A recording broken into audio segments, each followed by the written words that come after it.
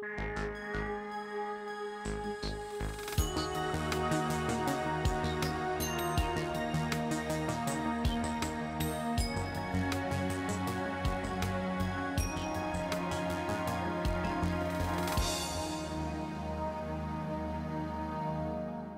術と技能の違いというのはその手の感触とか経験とか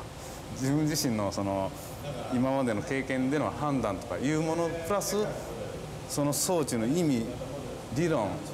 技術的な内容でねを一緒に持ってやると。そうしないとできない状況になってあのもともと、えー技術部隊とであと、まあ、技能現場部隊ですね。もともと分かれてるんですね組織的に。そしてあの今回初めてあの3次元プロジェクトという組織ができましてで技術とその現場部門が一つになって初めてのプロジェクトとして今やってるんですよ。例えばあのレーザーの今の光軸の調整なんかでももちろん図面上では光が通ってる線しか書いてありませんからそれをどういう手順でどういう段取りでどういう評価をしながら途中経過で評価をしながら踏んでいくということは何も書いてないわけ。ですそれを最終的なあの機能が満たせるような状態になるように手順とかやり方とかいうのを考えながらしていかなきゃいけないと。僕はやっぱりずっと現場で技能者なんであの今井さんみたいな技術的な視点が持てるようなことを僕は今井さんから盗み盗みたいですね。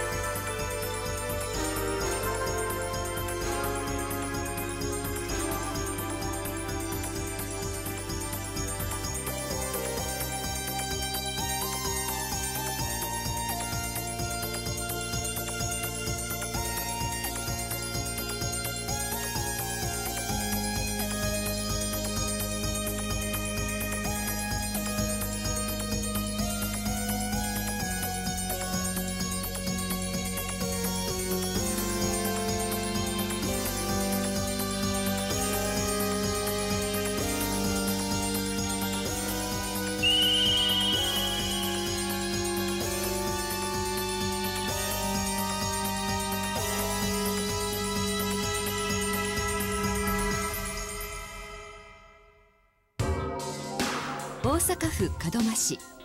ここ松下電器の本社エリアが広がる一角にナノの精度で物を測ることができる3次元測定器を開発製作する部隊がいます。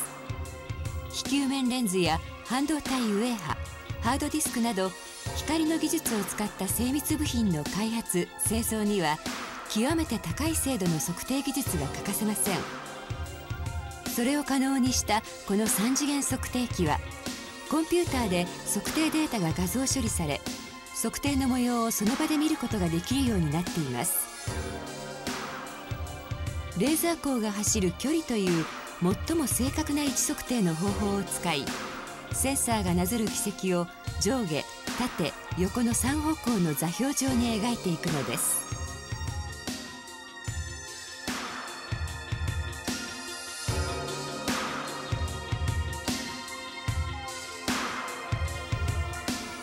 測定器の先端部分は原子間力プローブと呼ばれるセンサーで測定物に傷をつけずになぞっていきます。この原子間力プローブは3次元測定器のこの円の部分に取り付けられています。測定物をこのセンサーがなぞりそれを3つの軌跡からレーザー光で測定し精密な形状寸法を導き出すのです。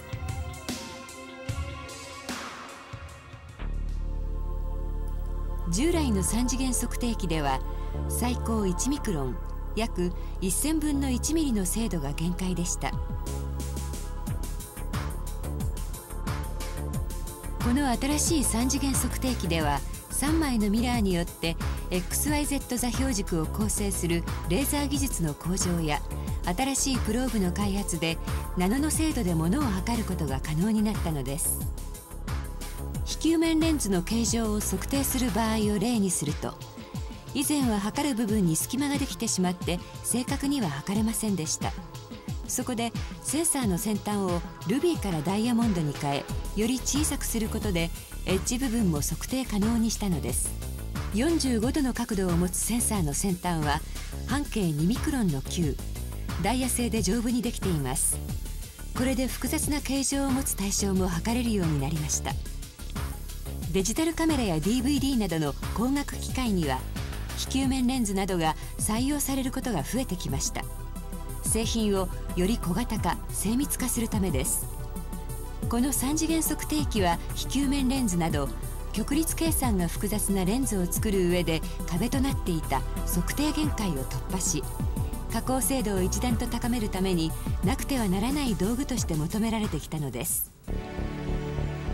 当初は松下電器の自社製品の精度を高めるために使われてきましたが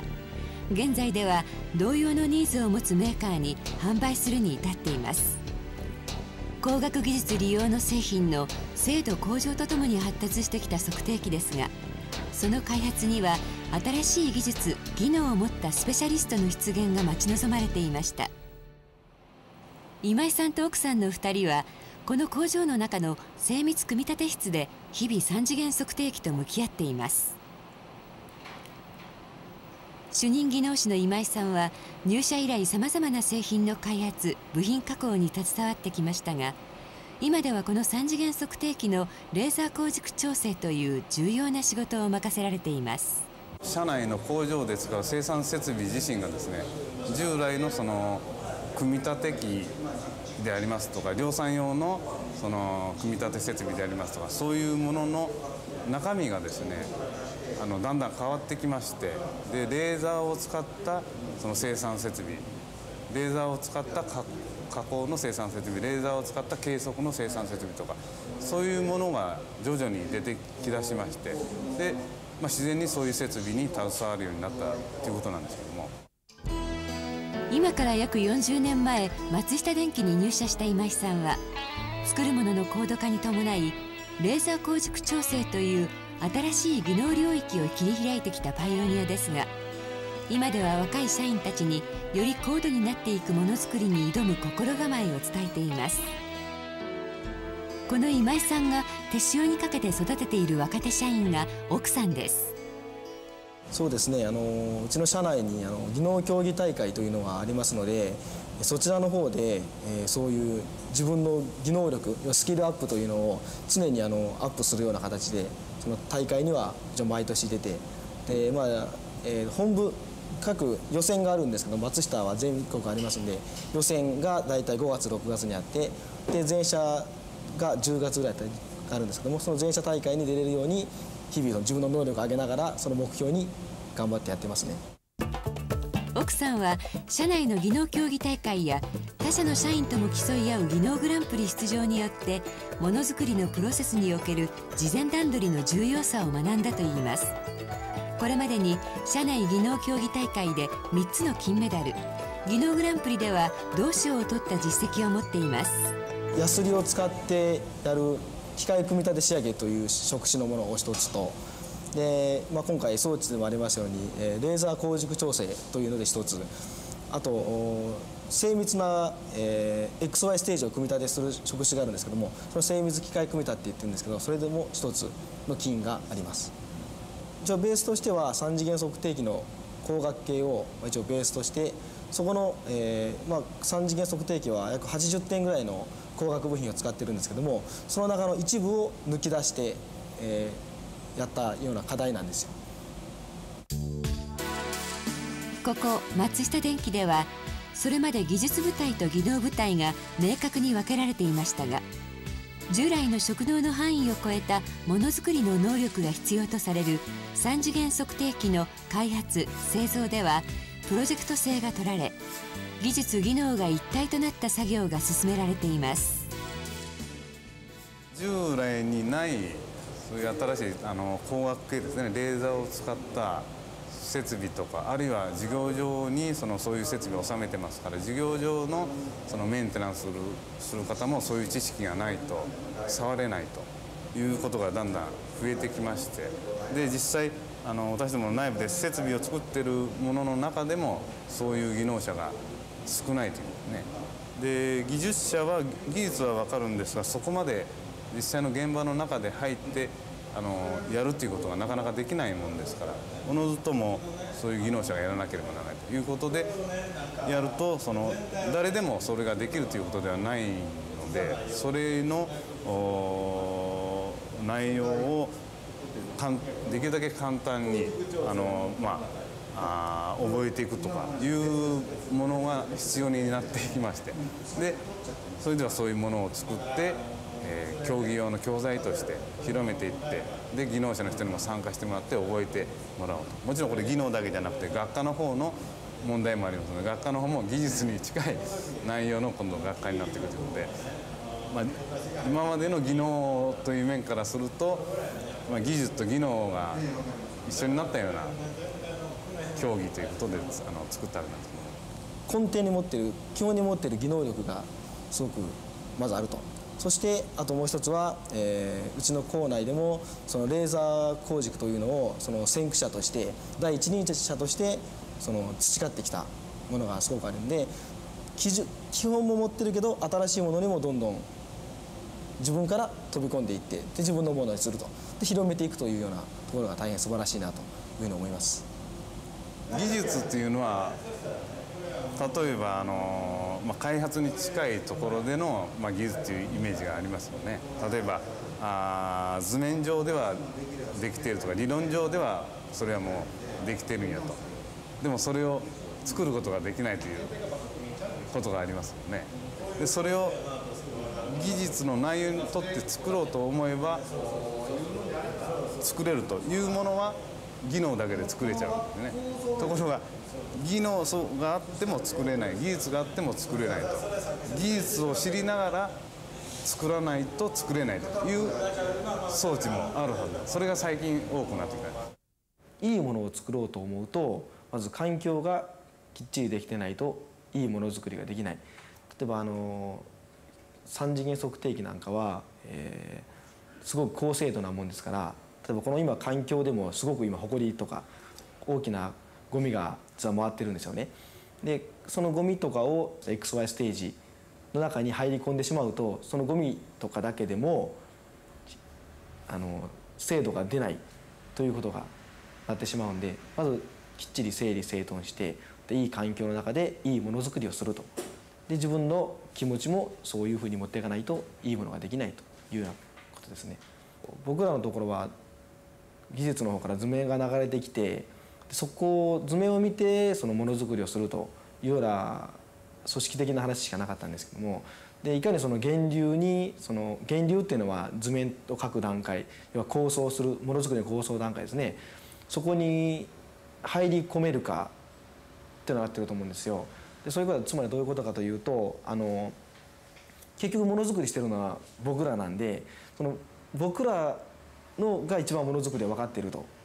で時で図面とかを書かれてる方とか構想されてる方は理論的な話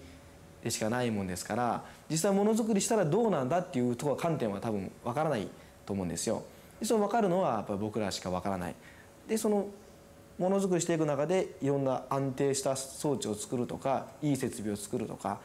そうする分かってる意見を装置に盛り込む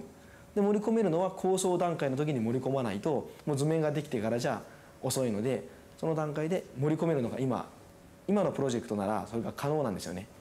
そこで源流にいかに入り込んでいいものを早く作れるかということができるということを僕はすごく今のプロジェクトではやりたいなというふうに思っています。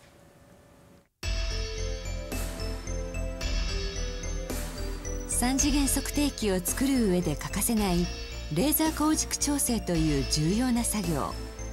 今井さんの話を交えながらどんな作業なのか見ていきましょう。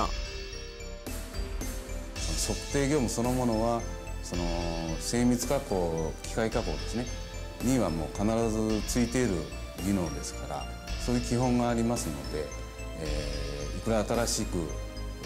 新しい測定といってもやはり基本的なことはやはり知っています。で、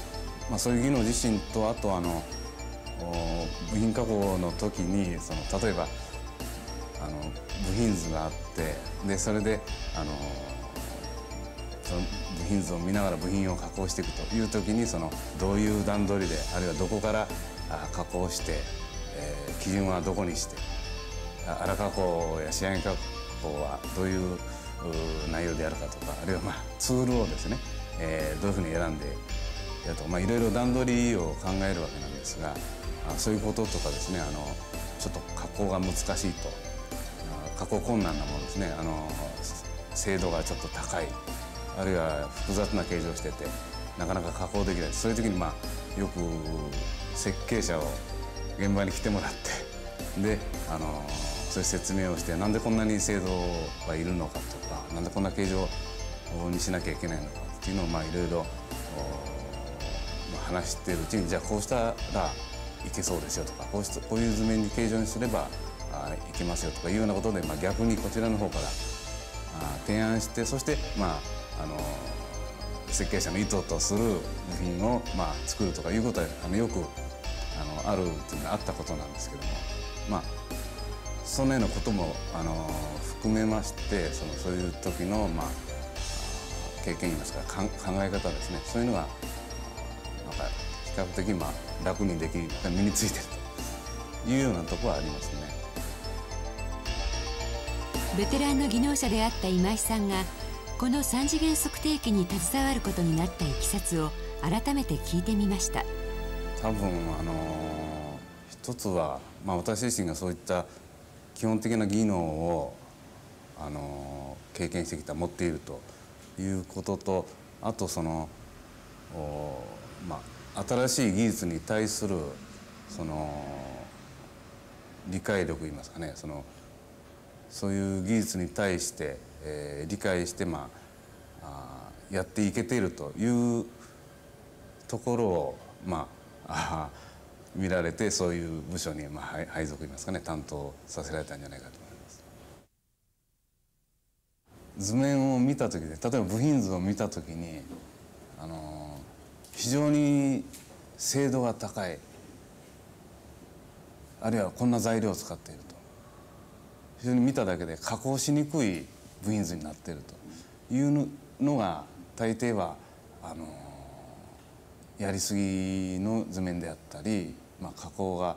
よく分からなかったからあの過剰精度を入れたりとか。そんなようなことでまあ分かるんですでパッと見て、まあ、加工しやすいというのであれば普通はあの問題視しないんですけども。えーと図面を読み設計者の意図を汲み取り物に形を与えるという優れた技能。レーザーを利用した新しい技術にはそれにふさわしい技能者が求められていたのでした。調整をしました。でこれはあの測定器の中に X 軸から Y 軸から Z1 軸から Z2 軸っていうあの軸がありましてその軸の移動距離を測定するためのあのレーザーなんでそちらの方の光軸調整を今してるとこなんでで、えー、こちらから発信されましたレーザーが向こうのミラーでベンディングされまして。ところでレーザー光は私たちが普段接する太陽の光や電灯の光と違って束になって直進する光です。また干渉という作用は光の波の山と山。谷と谷は強め合い山と谷は打ち消し合うという働きをします。座標軸上の位置を正確に測定するのにレーザー光が用いられるのは光のこうした性質を利用して光が走った微小な時間や差で2点間の距離を正確に測ることができるからです。光軸を調整する作業とは物差しとしての光を設計意図通りに走らせるように正しく設定する極めて高度な熟練が求められる作業です。45度方向に回転されます。で例えばこちらでは水平方向のは来てるけれどもこちらでは45度あの回転された変更の波が出ている。見た目にはまあ赤いレーザーが出てるというだけなんですが。でこちらで今度あのレーザービームをちょっと広げております。平行光で。大きくして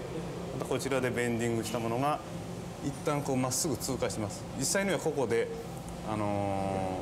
ー、無変更のビームスプリッターありますのでこちらに約50%逃げていくんですがこちらの方はまた調整は後になります。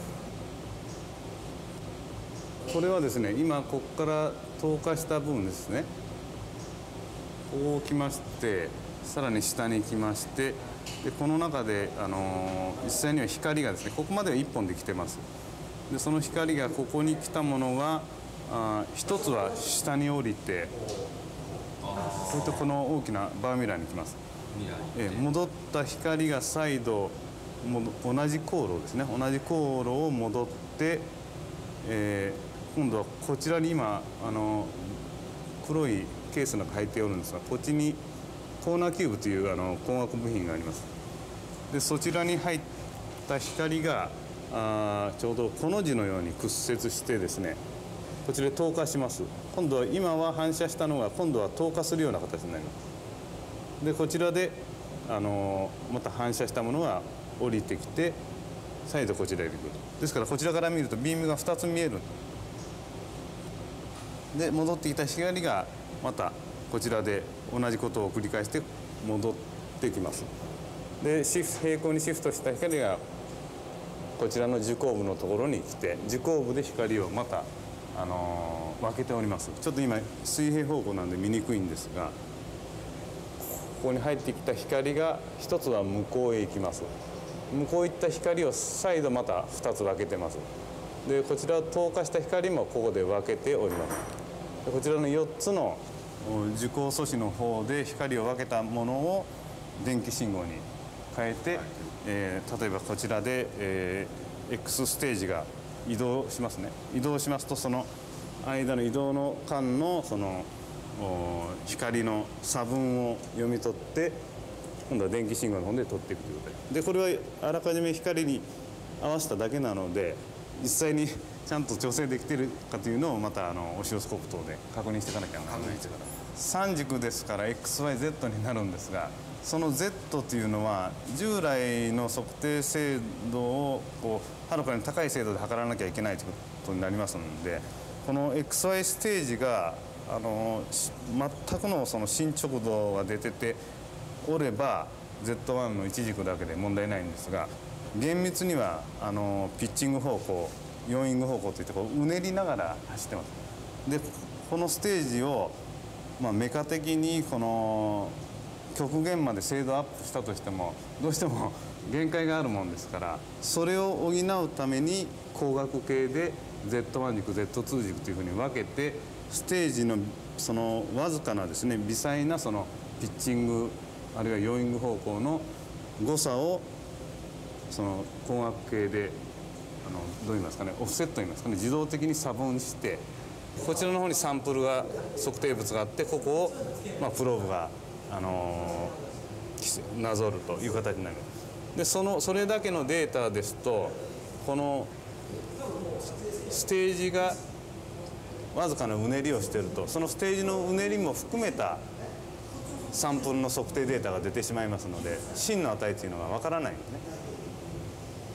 このメカ的なその微妙なこの動きまで含まれてしまいます。でそのメカ的な動きをキャンセルするためにこの上に今ミラーがあるんですが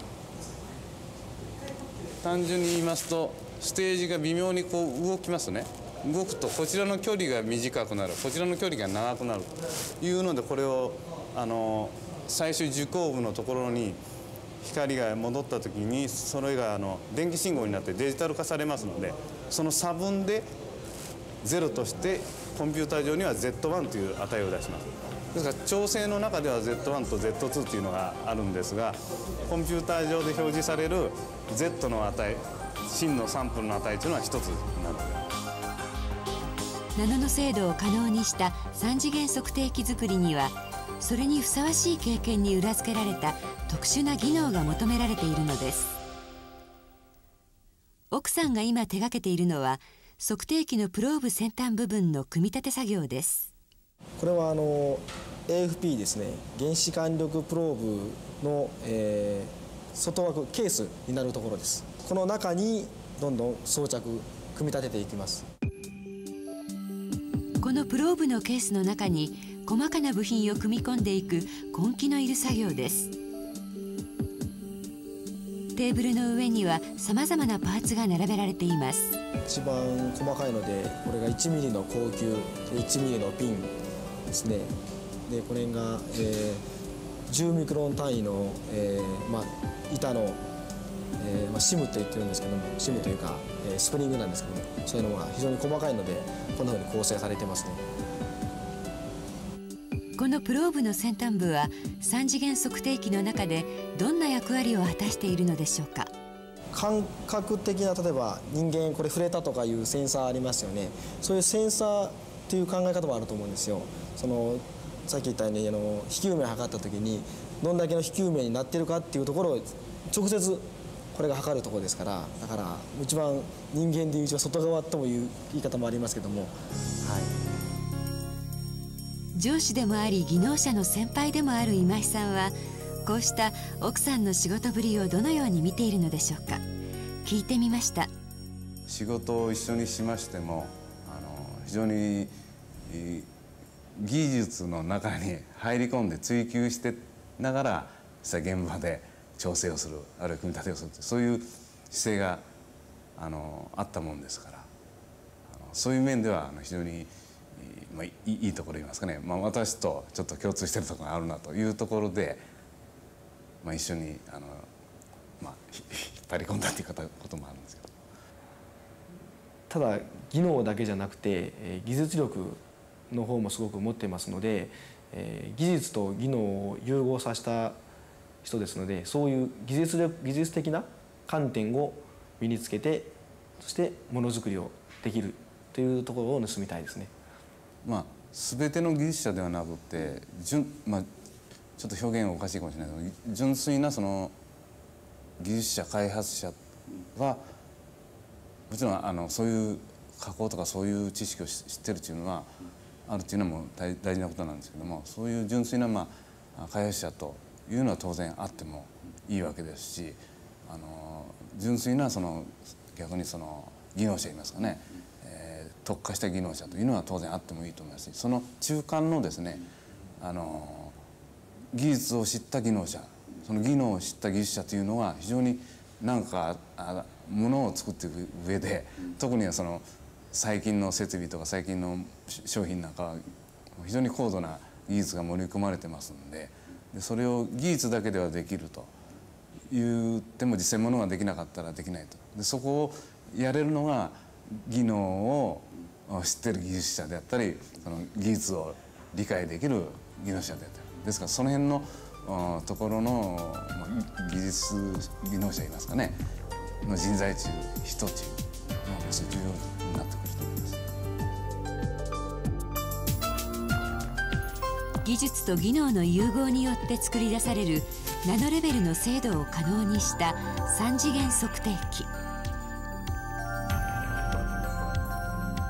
私たちの身の回りにあるさまざまな光学機器に欠かせない部品となっている気球面レンズの量産などにこうした測定器は必要不可欠なものとなっています。より高い精度が求められる生産現場で誰もが使える装置を開発するために今井さんたちの見えない静かな奮闘が続けられています。